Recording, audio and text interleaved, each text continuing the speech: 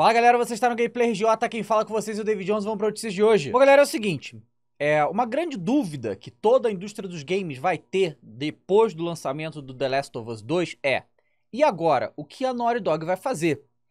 Se você jogou Uncharted 4, você vê que a série teve um encerramento, né?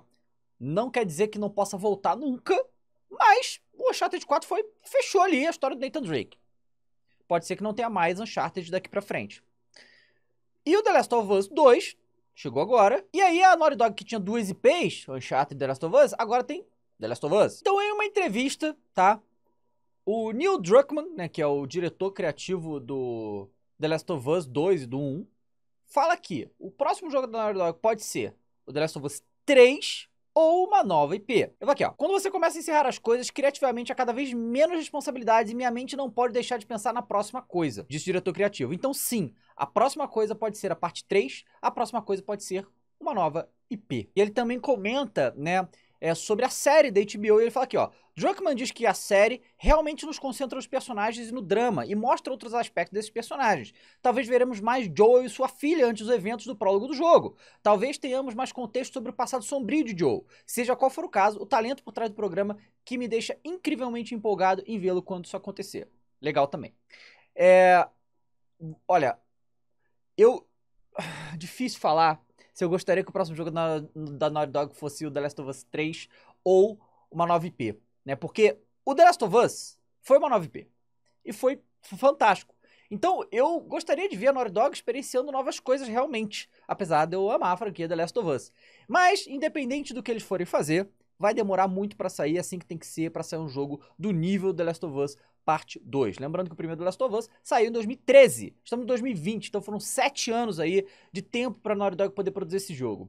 É, então vamos esperar. Vai demorar, mas certamente vai vir coisa boa aí. Bom, galera, aparentemente, né, é, o novo COD, o COD 2020, vazou de novo. O COD of War, COD of War, o Call of Duty Cold War, né? Seria o Black Ops Cold War, uma coisa assim, da Guerra Fria, vazou aí de novo, não sabemos se é verdade, mas já viu como é que funciona o vazamento de código.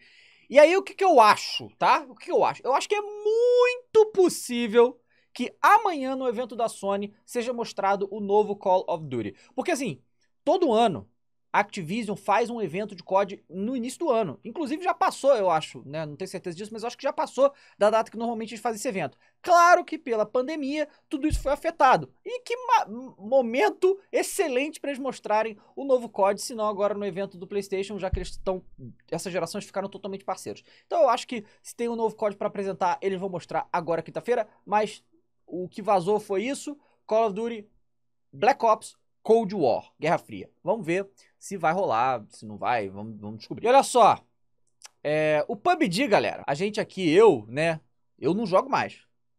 Eu não jogo mais. Acabou, tá? PUBG pra mim.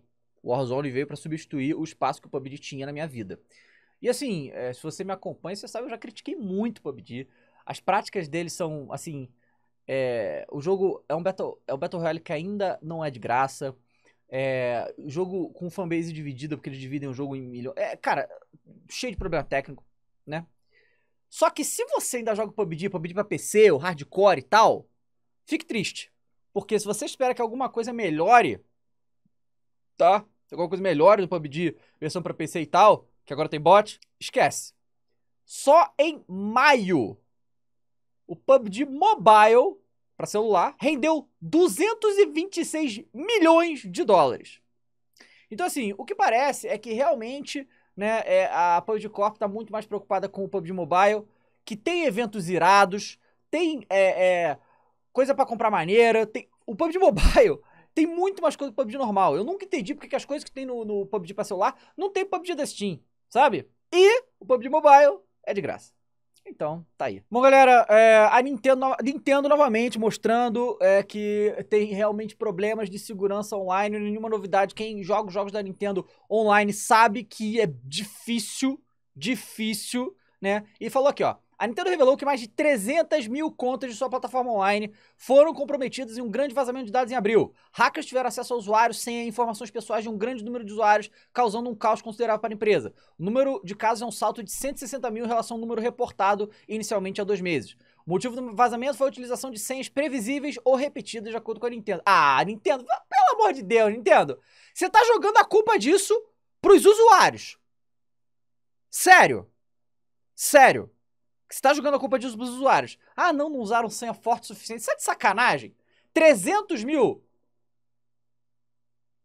Compras clandestinas foram realizadas em nome de alguns usuários afetados com foco na aquisição de V-Bucks e moeda do Fortnite. Então, vagabundo, os hackers invadiram a Nintendo para comprar V-Bucks. Pois é. Então, assim, a recomendação é que se você tem uma conta da Nintendo, muda sua senha. Bom, galera, eu tô aqui no, no The Enemy e eles fizeram um compilation de todos os eventos de games que vão ocorrer em junho. Junho e julho vão ser grandes meses para os gamers é, normalmente sempre é por causa da E3, mas né, esse ano não vai ter E3 devido à pandemia. Inclusive, olha que loucura. É, dia 10, cara, eu já estaria em Los Angeles. Eu já estaria em Los Angeles, já, já estaria tendo conferência. É, não esse ano. Então, olha só, o Summer of Gaming 2020 vai acontecer a partir do dia 10 e vai até o dia 25 de junho. Tá aqui, ó. Organizado pelo IGN, o Summer of Gaming 2020 não será o único evento, mas será uma sequência de transmissões ao vivo em diferentes dias e horários, que incluirão eventos de gameplay, entrevistas especiais, anúncios de novos jogos e revelação de conteúdos inéditos. Vamos acompanhar e ver todas as novidades. Vai ter o The Escapist Indie Showcase, vai ser dia 11 de junho, né, a uma da tarde. Falou, realizar parceria com a loja virtual GOG, desde que a pistinha de showcase contará mais novidades sobre mais de 70 jogos independentes, incluindo jogos inéditos e atualizações sobre jogos já revelados. É, o evento vai ser transmitido no YouTube. Dia 11, nós temos aí o evento do PlayStation 5. Vai ter também a Guerrilla Collective, dia 13 de junho. Tá aqui, ó, reunindo alguns nomes de peso da indústria, como Paradox, Sega, América e Guerrilla Collective, promete três dias de anúncios novos, trailer, demos e mais, mais jogos. A maior parte das novidades será concentrada no dia 13, mas outros conteúdos vão ser apresentados dia 14 e 15. Vai ter o PC Game Show, que tem todo ano na E3, vai ter agora aqui, ó, dia 13 de junho. Normalmente ele é realizado da E3, provavelmente novidades para mais de 50 jogos para entusiastas do PC, incluindo Surgeon Simulator 2 e Torchlight 3. Futures Game Show, dia 13 de junho, às 6 da tarde. Organizado pela Games Radar, o Future Game Shows 2020 contará com participação de empresas como a Deep Silver, Devolver Digital, Square Enix e promete novos trailers, anúncios e novidades focados em consoles e atual e próxima geração. Mais de 30 jogos serão apresentados no total. Dia 16 vai ter Upload VR Showcase, de realidade virtual. Focado em jogos de realidade virtual, a edição de verão do Upload VR Showcase promete uma série de novidades em plataformas VR e uma apresentação estilo Direct. Dia 18 de junho, olha a quantidade de coisa em junho, cara, bizarro, muita coisa mesmo. Dia 18 vai ter o EA Play, EA Play Live, né? Tradicional evento da EA paralela a E3, o EA Play acontece em versão virtual esse ano, mas ainda promete anúncios inéditos, novidades sobre jogos, publishers e mais. New Game Mais Expo, dia 23 de junho. Iniciativa de publishers dos Estados Unidos e Japão, o New Game Mais Expo terá novidades de empresas como Sega, Atlus, Koei Arc System Works e SNK. Vai ser transmitido da Twitch. O Big Digital, dia 24 e 25 de junho. Um dos mais tradicionais eventos de games do país, o Big Festival terá uma edição digital esse ano com palestras e debates gratuitos para o público entre o dia 24 e 25. O evento também terá torneio de Free Fire e Brawl Stars. Night City Wire, dia 25 de junho, evento da, da City Project Red sobre Cyberpunk. Um dos jogos mais aguardados do ano, Cyberpunk 2077, terá uma série de novidades reveladas pela City Project Red e uma transmissão especial apelidada Night City Wire. Beat Summit Garden, dia 27 e 28 de junho. Considerar a celebração de jogos independentes de todo mundo, o Beat Summit Guide será uma transmissão de dois dias que rolará no lugar do Beat Summit, uh, The, the Beat, evento que aconteceria em Kyoto, no Japão, e foi cancelado. Isso aqui é tudo em junho. Em julho já temos várias coisas anunciadas também. Então, assim, vão ser. E agosto a gente tem coisa anunciada também. Então a gente vai ter três meses aí que normalmente, tá? O, o, o Summer dos Estados Unidos, Summer, do, na verdade, do, do Hemisfério Norte, é normalmente um deserto de jogos, um deserto de anúncios.